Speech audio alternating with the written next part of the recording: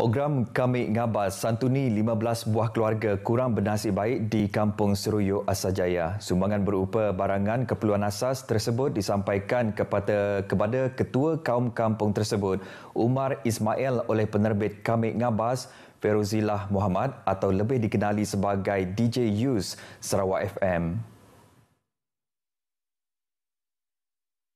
Dianjurkan dengan kerjasama Kementerian Perdagangan Dalam Negeri dan Hal Ehwal Pengguna menerusi menterinya Datuk Seri Alexander Nantalinggi dan Sarawak FM. Program ini antara lain bertujuan menaikkan semangat golongan kurang berkemampuan.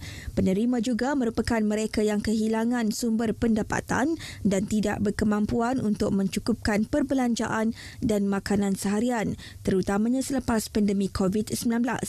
Menerusi kenyataan media Sarawak FM FM, program serupa juga dirancang di kawasan lain termasuk Nibong, Simunjan dan Sinjo di Siburan. Sementara itu, stesen Red FM turut mengadakan program serupa dengan menyantuni 15 individu yang terdiri daripada orang kurang upaya OKU, warga emas dan penerima bantuan kebajikan.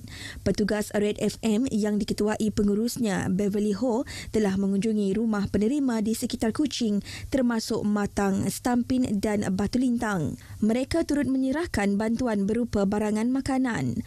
Turut serta dua pengelola Red FM, Phyllis Lahang dan Corina Jol.